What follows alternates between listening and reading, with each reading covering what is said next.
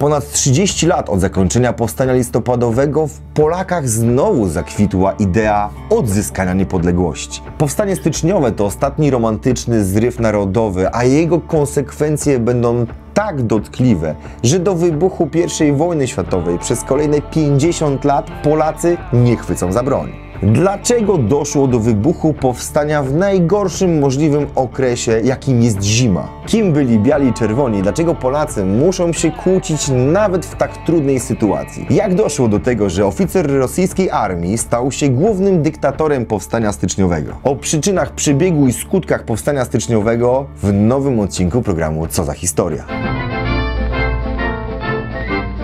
Po klęsce w wojnie krymskiej, gdy wojska francuskie i brytyjskie bez problemu w 1855 roku zdobyły twierdzę Sewastopol, co ostatecznie przesądziło o klęsce Rosjan w wojnie, nadszedł okres, który nazwany został odwilżą posewastopolską. Był to okres liberalizacji polityki wewnętrznej i reform państwa. Nowy car Aleksander II, który rządził od 1855 roku, zezwolił m.in. na zniesienie poddaństwa chłopów oraz skrócił służbę wojskową. Oczywiście tak daleko idące zmiany rozbudziły też nadzieję w Królestwie Polskim. No bo skoro car reformuje Rosję, to może nam, Polakom, też uda się na tym coś ugrać. No i tak też się stało. Po 25 latach został zakończony stan wojenny, który został wprowadzony po powstaniu listopadowym. Wprowadzono również amnestię, czyli wypuszczono z więzień zesłańców po powstaniu listopadowym oraz złagodzono cenzurę. Te ruchy dawały nadzieję, że faktycznie coś się może zmienić. I wyobraźcie sobie, że 22 maja 1856 roku car osobiście przyjechał do Warszawy. Wielotysięczny tłum zgromadził się na trasie przyjazdu samego cara i ten tłum wierzył, że przyjazd cara do Warszawy oznacza wielkie zmiany w Królestwie Polskim. Politycy wierzyli, że jest tu szansa na uzyskanie autonomii dla Królestwa Polskiego. Jednak car bardzo szybko ostudził gorące głowy Polaków i powiedział: Panowie, żadnych marzeń, żadnych marzeń. Trudno. Co robić? Pomimo tego car zgodził się na pewne ustępstwa. Złagodzono cenzurę, a nawet wypuszczono więźniów z Cytadeli Warszawskiej.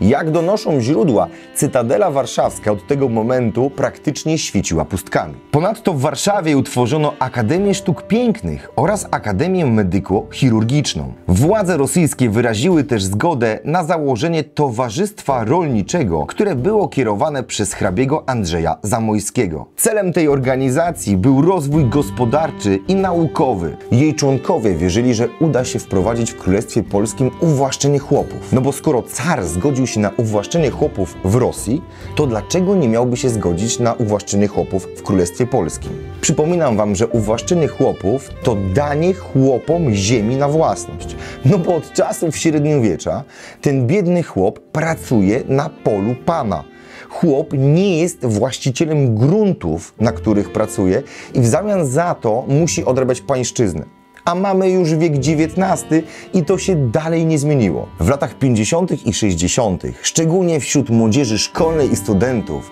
zaczęły się odradzać nastroje patriotyczne. No bo przecież ostatnie powstanie narodowe było ponad 30 lat wcześniej, a ci uczniowie ze szkół oraz studenci nie pamiętają powstania listopadowego, nie pamiętają jakie potworne skutki spadły na ludzi po powstaniu listopadowym, bo jeszcze ich nie było na świecie. I w tej grupie społecznej wrzało najmocniej. Do podsycenia nastrojów patriotycznych idealnie przyczyniła się sytuacja międzynarodowa, ponieważ kolejny z naszych zaborców, tym razem Austria, przegrała wojnę z Francją i doszło do zjednoczenia Włoch. Wśród duchu ideału romantyzmu i powiewu patriotyzmu ukształtowały się w Królestwie Polskim dwa ugrupowania: białych i czerwonych. Aby zrozumieć o co im chodziło, moglibyśmy się na razie skupić na tym, kto należał do białych, a kto należał do czerwonych. Biali na czele z Andrzejem Zamojskim to byli ziemianie, ci, którzy posiadali grunty, posiadali fundusze, również inteligencja, czyli osoby, które miały dużo do stracenia. Odrzucali całkowicie walkę narodowo-wyzwoleńczą, uważali ją za ostateczność. Mieli pomysł, żeby odzyskać niepodległość w legalny sposób. Koncentrowali się na uzyskaniu poparcia Wielkiej Brytanii i Francji i wierzyli, że z ich poparciem uda się legalnie stworzyć wolną i niezależną Polskę. Biali również koncentrowali się na idei uwłaszczenia chłopów. To było dla nich bardzo ważne hasło. No w końcu mamy XIX wiek, wypadałoby tego dokonać i zależało im na tym, aby dokonać uwłaszczenia chłopów z odszkodowaniem dla właścicieli ziemi. No to jest przecież logiczne, skoro ja jestem właścicielem i na mojej ziemi pracuje 10 chłopów i teraz tą ziemię dzielę pomiędzy tych 10 chłopów, no to panowie wyskakiwać z kasy, jeżeli mi zapłacicie, to ta ziemia będzie należała do Was. Czerwoni to najbardziej dynamiczna grupa społeczna, czyli studenci i uczniowie. Ci, którzy nie mają nic do stracenia, a są bardzo podatni na hasła chwycenia za broń i walki za ojczyznę. Do grupy czerwonych należeli również wojskowi, więc nie ma co się dziwić, że będą chcieli walką odzyskać niepodległość. Na ich czele stanął Jarosław Dąbrowski który głosił radykalne hasła, że jedyną metodą odzyskania niepodległości jest zbrojne powstanie wszystkich grup społecznych. Już od lat 60. tworzą tajne organizacje, które mają przygotować powstanie narodowe. Czerwoni poruszyli również temat uwłaszczenia chłopów, bo zdawali sobie sprawę, jak ważną grupą społeczną w powstaniu narodowym są chłopi. Przecież chłopi to najliczniejsza grupa. Więc trzeba dać im ziemię, aby przyłączyli się do powstania. Ale czy właścicielom wypłacimy odszkodowanie? Mówiono, że tak.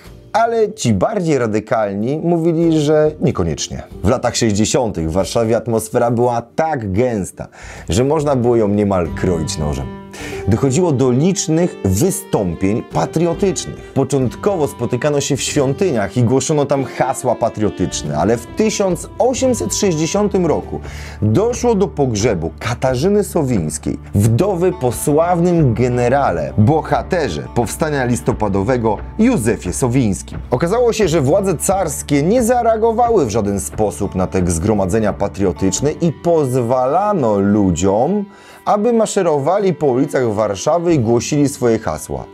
O dziwo, ani wojsko, ani policja nie zrobiła w tej sprawie nic. Sami doskonale wiemy, że jeżeli pozwoli się nam na malutki paluszek, to weźmiemy zdecydowanie całą rękę. Brak reakcji Rosjan spowodował to, że polscy patrioci zaczęli organizować kolejne manifestacje. Były to manifestacje pokojowe i były związane z kolejnymi rocznicami ważnych wydarzeń z powstania listopadowego. Sytuacja zmieniła się w lutym 1861 roku. Związane było to z 30. rocznicą bitwy y, pod Olszynką Grochowską. Dokładnie 25 lutego 1861 roku potężna manifestacja wylała się na ulicę Starego Miasta w Warszawie. Tym razem władze postanowiły użyć policji do stłumienia manifestacji i pobito dotkliwie wiele osób. Pomimo tego incydentu, protestujący postanowili dwa dni później zorganizować jeszcze jedną manifestację, która miała na celu namówić policję, aby uwolniła aresztowanych z 25 lutego. Aby skłonić policję do uwolnienia aresztowanych, postanowiono wziąć kamienie i po prostu ich obrzucać tymi kamieniami. Gdy rozścieczony tłum zaczął naparzać kamieniami w żandarmów, policja otworzyła ogień i zastrzeliła pięć osób. Carski namiestnik w Warszawie, Michał Gorczakow, postanowił nie eskalować konfliktu i wycofał wojska rosyjskie z Warszawy. Zgodził się również na wysłanie do cara listu z prośbą Polaków o uzyskanie autonomii w Królestwie Polskim. Oczywiście car nie miał zamiaru tego realizować, ale zgodził się jednak zrealizować pewne ustępstwa na rzecz Polaków mianował w marcu 1861 roku dyrektorem Komisji Wyznań i Oświecenia Publicznego hrabiego Aleksandra Wielopolskiego. Jak również odwołał Rosjan z najważniejszych stanowisk w administracji i mianował na nie Polaków. Car w rzeczywistości nie miał zamiaru dawać nam jakiejkolwiek wolności. A ruch z mianowaniem Wielopolskiego i Te reformy, które on przeprowadził, miały jedynie uspokoić nastroje rewolucyjne w Warszawie. No oczywiście, Wielopolski prowadził ugodową politykę wobec cara, no bo jaką inną miałby prowadzić? To nie wystarczało radykałom polskim, to nie wystarczało polskim patriotom. Do tego Wielopolski w kwietniu 1861 roku rozwiązał Towarzystwo Rolnicze. Był to swoisty absurd, przecież Towarzystwo Rolnicze uzyskało zgodę samego cara, żeby funkcjonować. No i w związku z tym, gdy Wielopolski rozwiązuje Towarzystwo Rolnicze, w Warszawie w kwietniu 1861 dochodzi do wielkiej manifestacji. W manifestacji stłumionej przez wojsko rosyjskie na placu zamkowym w Warszawie zginęło ponad 100 manifestantów. W obawie przed eskalacją konfliktu w październiku 1861 roku w Warszawie wprowadzono stan wojenny oraz zamknięto świątynię wszystkich wyznań, a sam Wielopolski podał się do dymisji. Gdy sytuacja zimą i wiosną 1862 roku się troszkę uspokoiła, do gry powrócił znowu Aleksander Wielopolski, tym razem jako premier. Można powiedzieć, że Wielopolskiemu zależało na tym, aby przywrócić stan Królestwa Polskiego sprzed wybuchu Powstania Listopadowego. Jednak to nie wystarczało i sytuacja była faktycznie gorąca. Ludzie żądali diametralnych, radykalnych reform, których nie mógł dać Wielopolski, będąc na smyczy cara rosyjskiego. Aleksander Wielopolski zdawał sobie sprawę, że siedzi w Warszawie na beczce prochu i musi coś zrobić, aby temu przeciwdziałać, aby ta beczka nie wybuchła zarządził nadzwyczajny pobór do wojska rosyjskiego. Musicie mieć świadomość, że gdyby was w tamtym okresie wzięli do wojska rosyjskiego, to taka służba trwała jedyne 25 lat car nie utworzyłby polskich oddziałów u boku armii rosyjskiej, tylko wezmą was i wrzucą do istniejących już jednostek, w którym się okaże, że jesteście jedynymi Polakami na 100, 200 czy 500 innych Rosjan. Oczywiście po 25 latach służby zostaniecie w pełni zrusyfikowani i jeżeli jakimś cudem uda wam się w pełni przeżyć w ogóle taką służbę, to gdy wrócicie do domu, to już nikt nie będzie myślał o jakichkolwiek walkach narodowo-wyzwoleńczych. Ta branka była wyjątkowa jeszcze pod innym względem, ponieważ tym razem ułożono listę imienną imion i nazwisk ludzi, którzy mają zostać powołani do wojska rosyjskiego. Oczywiście na tej liście znaleźli się najbardziej zagorzali zwolennicy wybuchu powstania. Datę branki ogłoszono z nocy z 14 na 15 stycznia 1863 roku. I młodzi mieszkańcy Warszawy no, nie mając tak naprawdę wyboru, uciekli do Puszczy Kampinowskiej przed Branką. Komu by zależało na wybuchu Powstania Narodowego w styczniu? Przecież to jest najgorsza data, jaka mogłaby się wydarzyć. Zima do walk? Przecież to jest w ogóle absurd, gdzie powstańcy nie mają ani broni, ani zaopatrzenia, ani są całkowicie w ogóle nieprzygotowani. No jednak branka Aleksandra Wielopolskiego spowodowała, że należy działać szybko. W związku z czym 22 stycznia 1863 roku powstaje nam tymczasowy rząd narodowy, który ogłasza wybuch powstania zbrojnego. Powstanie wybuchło w najgorszym możliwym okresie, jaki można sobie wyobrazić. Nie było ani broni, ani zaopatrzenia, oddziały były totalnie nieprzygotowane, a człowiek, który został wybrany na przywódcę powstańców, Ludwik Mirosławski, przebywał w Paryżu. Nawet go nie było w Królestwie Polskim. Plan powstańców był bardzo prosty. Należało zdobyć miasto, zrobić z niego bazę i w tym mieście ujawni się rząd narodowy.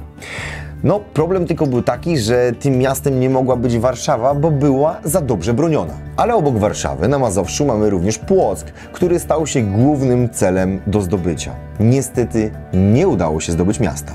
W lutym 1863 roku w końcu przybył Ludwik Mirosławski. No ale jak się szybko okazało, po kilku przegranych potyczkach, Mirosławski rzucił to wszystko i stwierdził, że wraca do Paryża. W tym okresie historycy podają, że armia powstańcza liczyła około 6 tysięcy żołnierzy, z czego 2000 z nich miało broń. Na tereny Królestwa Polskiego wkroczyła armia rosyjska o sile 100 tysięcy żołnierzy. Statystyka jest brutalna, no z czym do ludzi? No, nie mamy jak walczyć z taką armią rosyjską, nawet gdyby te 6 tysięcy chłopa naszych to byli Janki III Sobieskie, to nie daliby rady walczyć ze 100-tysięczną armią rosyjską. Dlatego podjęto decyzję o zmianie formy walki. Od tej pory będzie to forma walki partyzanckiej, czyli będziemy walczyć na tyłach przeciwnika, będziemy atakować go w tych miejscach, gdzie się nie spodziewał, będziemy zdobywać dzięki temu broń i zaopatrzenie. Trzeba przyznać, że w początkowej fazie zaczęło się to nawet udawać, ale szybko poszły rozkazy po oddziałach rosyjskich, że wojska rosyjskie mają się mieć na baczności, ponieważ Polacy przyjęli zupełnie inną formę walki i oddziały rosyjskie powinny być w każdej chwili gotowe na to, że mogą zostać zaatakowane. W marcu 1863 roku znaleziono nowego przywódcę powstania. Tym razem był to przedstawiciel białych i nazywał się Marian Langiewicz. Jednak zaledwie tydzień później, po dwóch przegranych bitwach, przekroczył granicę zaboru austriackiego i złożył broń. Sytuacja wydawała się tragiczna i powstańcy zostali bez żadnego wodza naczelnego. Tak naprawdę żołnierze mogli tylko polegać na swoich dowódcach polowych. 10 maja 1863 roku tymczasowy rząd narodowy przekształcił się w rząd narodowy i powołał tajną strukturę polskiego państwa podziemnego. W jego ramach funkcjonowała poczta, służba dyplomatyczna, a nawet aparat informacyjno-propagandowy. Zbierano również podatki na utrzymanie i na zakup niezbędnego uzbrojenia dla powstańców. Działały również trybunały rewolucyjne, czyli wydawały one wyroki na szpiegach albo na zdrajcach. Dzięki tej reformie udało się odnieść największe sukcesy pomiędzy majem a sierpniem 1863 roku i stoczono w tym krótkim okresie ponad 500 bitew. Wieści o tych sukcesach rozprzestrzeniły się bardzo szybko i mobilizowało to Polaków w innych zaborach, aby pomóc tym z Królestwie Polskim. Z ziem zaboru pruskiego i austriackiego przybywali do Królestwa Polskiego ochotnicy, a także przywożono pieniądze, aby zakupić broń i amunicję. Powstańcy liczyli na wsparcie na arenie międzynarodowej. Liczono, że wstawi się za Polską Francja, Wielka Brytania, jednak nic z tych rzeczy. I w zaistniałej sytuacji Rosjanie latem wysyłają na tereny Królestwa Polskiego 300-tysięczną armię. Rosjanie odsunęli od władzy Aleksandra Wielopolskiego, a namiestnikiem Królestwa Polskiego został głównodowodzący armii carskiej generał Berg. Zadanie stłumienia powstania na Litwie otrzymał z kolei generał Michał Murawiow, który otrzymał przydomek Wieszatiel, czyli ten, który wieszał i słynny był ze swojego wielkiego okrucieństwa, jeżeli kogokolwiek posądził o pomoc powstańcom bądź za udział w powstaniu styczniowym. Berk i Murawiów mieli świadomość, żeby zakończyć powstanie, należy odciąć powstańców od pomocy cywili. Przecież powstańcy nie mają koszar, nie mają zaopatrzenia, tylko muszą korzystać z pomocy ludności cywilnej.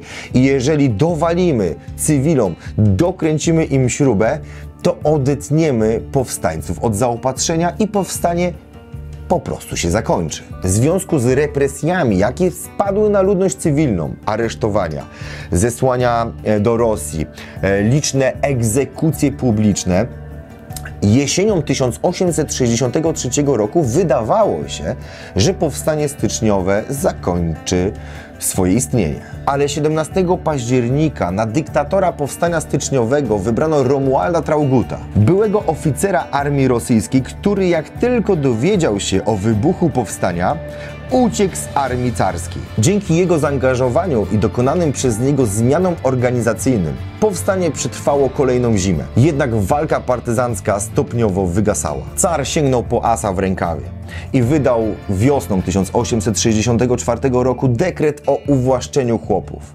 I od tego momentu chłopi otrzymali ziemię na własność i nie ma sensu, aby brali udział w powstaniu. Do tego wszystkiego Romuald Traugott, który nie przybywał wraz z żołnierzami i nie brał udziału w bitwach, tylko przybywał w Warszawie, został zdradzony i aresztowany. Po aresztowaniu Romualda Traugutta w kwietniu 1864 roku został on przewieziony do Cytadeli Warszawskiej, gdzie poddano go bardzo ciężkiemu przesłuchaniu. Dopiero 5 sierpnia wykonano na Romualdzie Traugutcie wyrok śmierci. Dla wielu historyków śmierć Romualda Traugutta oznacza koniec powstania styczniowego. Oczywiście będziemy mieć jeszcze pojedyncze oddziały, m.in. księdza Brzuski, walczące aż praktycznie do jesieni 64 roku, jednak te potyczki nie miały już tak naprawdę żadnego większego wpływu na losy powstania styczniowego. O przebiegu powstania, bitwach i dowódcach w następnym odcinku. Dziękuję Wam bardzo, do zobaczenia. Cześć!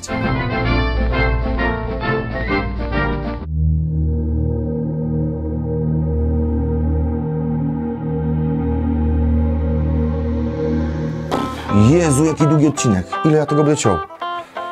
Masakra. Według relacji, prawda? Według relacji, według relacji, według, według relacji, według relacji, psztanie w Warszawie. E, ble, ble, ble, ble, nie wyszło. Kurde. A było dobre flow. Nie.